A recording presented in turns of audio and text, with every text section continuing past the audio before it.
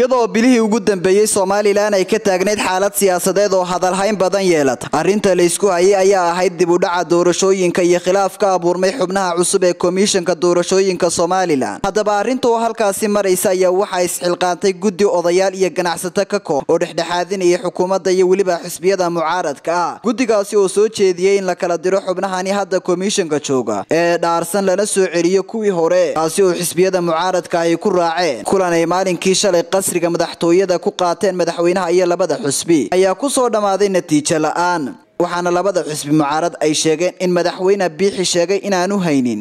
Sharci uu ku kala komishanka lagu heshiiyey in la kala diro. Haddaba waxaa arrintaasi fikirkooda ka dhiibtay qaar ka mid a shacabka magaalada hargeysa waxaana yidhaahdeen. Bismillahi raxmaan raxiim horta waa si wanaagsan sidaad waxii weydiisay. Waxaan leeyahay doorashadan kolba dhinac loo dhigayo. Horta dadweynaha wax daroo ugu jirta haba yaraatee ma jirto. Waxaa la yidhi dhicisku inta birta loo soo siduu ka bakhtiyaa. Dadweynihii hargeysana bakhti bay in yar u jiraan. Dowladda iyo macaaridkuna waxay isku haystaan. Had iyo jeer yaa maanta maanta annagaa caynkan leh berrina annagaa caynkan leh. Waxaan leeyahay madaxweynaha waddanka haya arrintu qandhadh iyo tiisiyaad baro kale ma aha xog dabcin iyo waxaa loo baahan yahay horta dadkii mas'uulkaa ka ahaa misagaa ogba madaxweynuhu hargeysa waxaa ka jira bakhtiga u xalaala dadka. Intuu isagu ku jiro iyo yoota siyaasadeed intuu waddanka ku jiro waxaana dadka shicibkaa lagu jaawareerinayaa ya waxaana dadka shicibkaa lagu jaawareerinayaa in siyaasad ya way saystaan iyo laakiin waxaan ray ahaan taageersanahay. Anigu ya. In saddexdii gole siday ku heshiiyeen uu madaxweyne markii hore qiraalka qaatay inuu kala diro.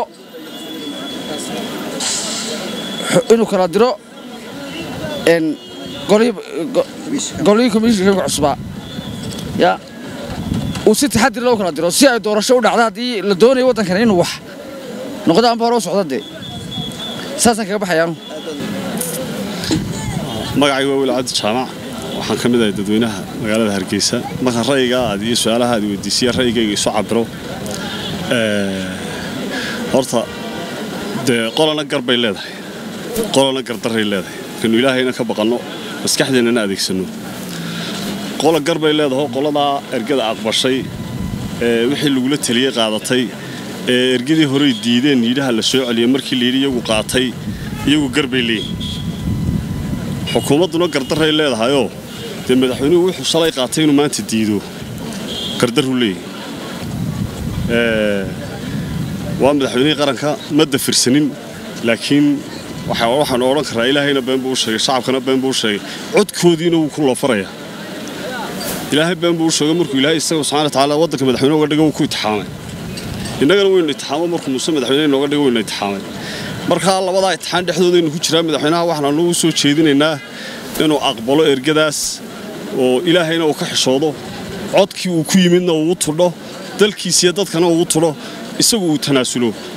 Waayan darayn maanta nimankii mucaaradka waddanka aynu uga baqanaynay ay uga laxjecla bataan usa bixi waddanka taana waxaan leenahay waa wax adiga kugu mudan.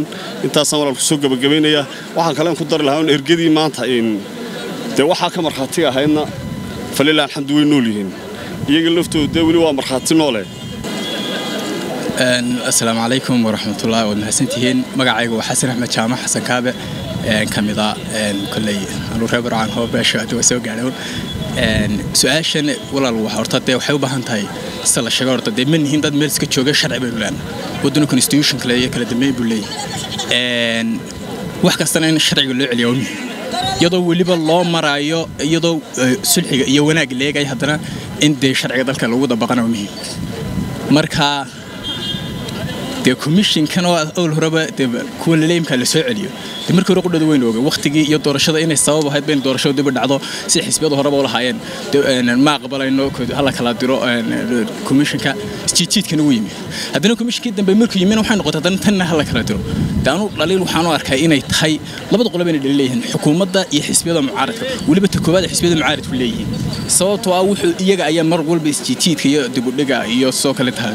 Waayo wax alle ma sheegin riisanka ay marka hore komishinkan u diideen komishinka ay ku dhaliileen iyo tahay imika ay sababtay haddana imika ku aqbaleen ma sheegin yacni waxaan ka maqlay un cabdiraxmaan rood markuu lahaa guddoomiye komishinkii hore waanu aqbalnay waanu ka tanaasulnay waxay keeneen. Taasina maha wala wax lagu qanci karo.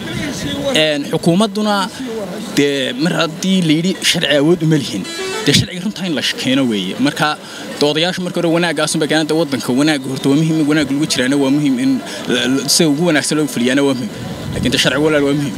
Marka aad baad mahadsantihi star t v iyo dhammaantiinba iyo sidoo kale laakiin dalku dee sharci buu leeyahay sharciga hala raaco ood mahadsantihiin raxiim.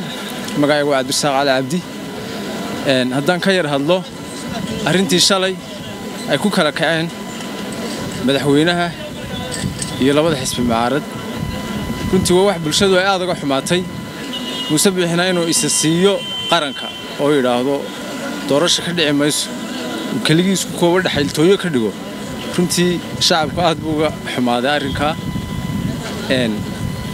muuse bixi waxaan leenahay isbeddel baa lagaaga baahan yahay. komishinka madaxweynihii markaa haystay daahir yaale wuu kala diray awooddiisanu isticmaalay. Muuse bixi waxaa la moodaa inuu taa ka baqayo. Muuse bixi waa nin xalka u yaqaana inuu dadka weydiiyo ceeb arrinkaana waxaan leenahay madaxweyne dalka haddii loo tudhayo waa inay doorasho ka dhacdaa haddii kale adaa gacantaada ku dumiyey waayo shacabku inay dadka doorasho ay u diyaar yihiin bay rabaan. Ilaahay wuxuu noo soo diray guddi isxilqaantay oo ganacsato leh culimo leh. In wixii ka soo baxay uu isagu laalo. Xisbiyadii mucaaradkaana ay ku qancaan.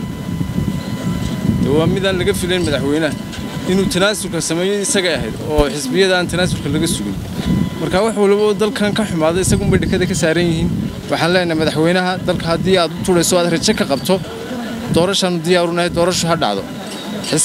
Komishinkaa horena waa in la kala diraa oo la kala eriyaa kuwan dambe ay ku dhawaaqeen guddida isxilqaantay ha shaqeeyaan aad ba u mahadsantihin cabdirashiid maxamuud maxamed telefishinka caalamiga star t v magaalada hargeysa caasimadda somalilan